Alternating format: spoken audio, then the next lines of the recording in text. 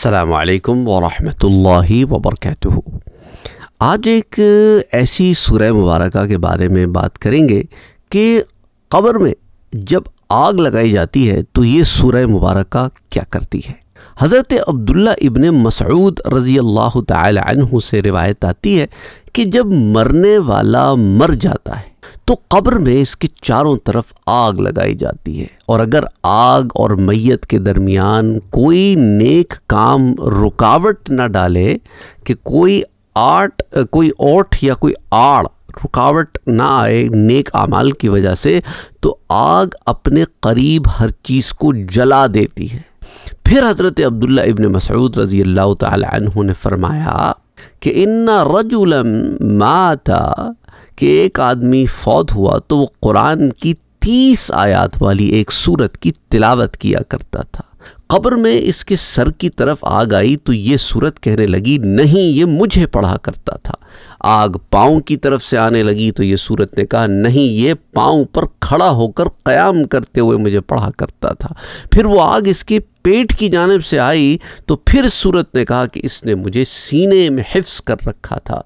तो रावी कहते हैं, बिला आखिर सूरत ने इसे आग से निजात दिला दी। ये हदीस बयान करने के बाद अब्दुल्ला इब्न मसऊद रज़ी अल्लाह तु कहते हैं, मैंने और मसरूक़ ने मसहफ़, यानी कि कुरान करीम देखा तो सूरह तबारकल्लदी बियदिल मुल्क, यानी सूरह अल मुल्क के अलावा हमें तीस आयात वाली कोई सूरत ना मिली। तो सही फ़दाइलकुरान ली अबी अबैदुल्क़ासिम बिन सलाम अलहरवी पेज नंबर 260 पर यह रिवायत आती है। अच्छा इसी तरह हज़रत अब्दुल्ला इबन अब्बास रज़ी अल्लाह तु बयान करते हैं कि हुजूर अकरम सल्लल्लाहु अलैहि वसल्लम ने फरमाया कि मैं अल्लाह की किताब यानी कुरान में एक तीस आयात पर मुश्तमिल सूरत को जानता हूँ कि जो भी शख्स सोने के वक्त इसे पढ़ेगा, इसके लिए तीस नेकियाँ लिखी जाएँगी और तीस गुनाह मिटा दिए जाएँगे और तीस दर्जात बुलंद कर दिए जाएँगे। और अल्लाह इसके पास एक फरिश्ता भेजता है जो अपने परों को फैलाए, इस पर साया किए रखता है और इसके बेदार होने तक इसकी हिफाजत करता है। और यही सूरा जो है, ये मुजादिला यानी अपने पढ़ने वाले के मुतल कब्र में झगड़ा करेगी।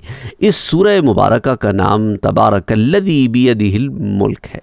मुस्ंदुलफ़िरदौस जो इमाम दैलमी की हदीस की किताब, इसकी जिल्द एक, सफ़ा 63 पर भी ये रिवायत आती है। और इसे अदुर्रमंसूर में इमाम सयूती भी रिवायत करते हैं, volume number eight, page number 217 पर। तो इन दो रिवायतों से हमें क्या पता चलता है कि कुरान करीम की ये सूरह मुबारक कब्र में भी हिफाजत करेगी? और इसी तरह आग को मुख्तलिफ़ डायरेक्शन से इंसान की तरफ़, पढ़ने वाले की तरफ़ आने नहीं देगी।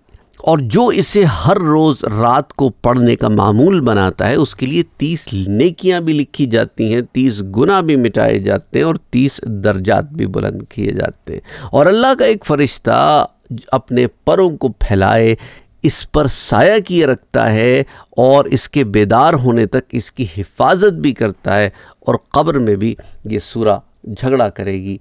तो ये एक सूरह मुबारक का ज़िक्र। और इसी तरह हुजूर सल्लल्लाहु अलैहि वसल्लम ने फरमाया कि तीस आयात पर मुश्तमिल सूरत, यानी तबारकल्लदी मुल्क, अपने पढ़ने वाले की सिफारिश करेगी। हती कि उसे मुआफ़ कर दिया जाएगा। हती युग लहू। ये रिवायत सुनन अभी दाऊद में आती है। बा किताब सलात में, हदीस नंबर 1400 दर्जा हसन की ये रिवायत है। इसी तरह हज़रत अब्दुल्ला इबन अब्बास रिवायत करते हैं कि एक आदमी से कहा कि मैं तुम्हें एक हदीस सुनाऊं जिससे तुम खुश हो जाए। तो वो कहने लगा, क्यों नहीं? तो हज़रत अब्बास ने अब्दुल्ला इबन अब्बास ने फरमाया कि हुजूर सल्लल्लाहु अलैहि वसल्लम ने फरमाया कि सूरह तबारक लदी बियदिल मुल्क पढ़ो, अपने बीवी बच्चों समेत तमाम घर वालों को सिखाओ हती कि अपने पड़ोसी यानी हमसाइयों को भी सिखा दो, क्योंकि ये निजात दिलाने वाली है और क़यामत में अपने पढ़ने वाले के मुतल अल्लाह सुबहाना वाली से यूँ कलाम करेगी, एक मुतालबा करेगी कि अल्लाह इस शख्स को जहन्नम के आदाब से महफूज फरमा और वो अपने पढ़ने वाले को अजाब कब्र से महफूज फरमाएगी हुजूर सल्लल्लाहु अलैहि वसल्लम ने फरमाया, काश ये सूरत मेरी उम्मत के हर फर्द को ज़बानी याद होती। और इमाम तबरानी इसे कुछ इन अल्फाज में रिवायत करते हैं कि काश ये सूरत जिसे तबारक लदी मुल्क कहा जाता है, मेरी उम्मत के हर फर्द के दिल में होती, यानी उसे ज़बानी याद होती। इस रिवायत को मुस्ंद हमैदी में भी रिवायत किया गया है। अद्दुरुल मंसूर में इमाम सयूती भी रिवायत करते हैं, इमाम तबरानी इसे कबीर में रिवायत करते हैं। Eleven thousand six hundred sixteen हदीस मुबारक के तहत, इमाम हैसमी इसे मजमाज़वायद में eleven thousand four twenty nine हदीस नंबर के तहत रिवायत करते हैं। तो ये भी एक रिवायत आती है ज़मीन में। और इसी तरह हज़रत अनस रज़ी अल्लाह तु बयान करते हैं कि हुजूर अलैहि वसल्लम ने फरमाया कि सूरत मिनक़ुरानी माहिया सलासून आयतन, कि कुरान में एक सूरत है जिसकी तीस आयत हैं। इसने अल्लाह सुबहाना वाली से अपने पढ़ने वाले के मुतक़ ये दरख्वास्त की की और करती रहेगी कि हती उसे, यानी से पढ़ने वाले को जन्नत में दाखिल करवा दिया जाए। और वो कौन सी सूरत है? वहिया सूरत तबारका, और वो सूरह अलमुल्क है और ये रिवायत जो है, इसे इमाम तबरानी जो है सग़ीर में भी लाते हैं और वह सही सग़ीर में भी हदीस three thousand six hundred and forty four के तहत भी इसे रिवायत किया गया है। तो इसी तरह और बहुत सारी रिवायात में सूरा अलमुल्क का ज़िक्र है तो मैं समझता हूँ कि ये काफ़ी ये जो रिवायात मैंने आज आपसे शेयर की हैं, अपने अंदर मुख्तलफ़ तरीक़ों से आपको इस बात की तरफ़ माइल होने में मदद करती हैं कि इस सूरह मुबारक को पढ़ने का अपना मामूल बनाएँ। असलकम वरहमल वबरकातुहू।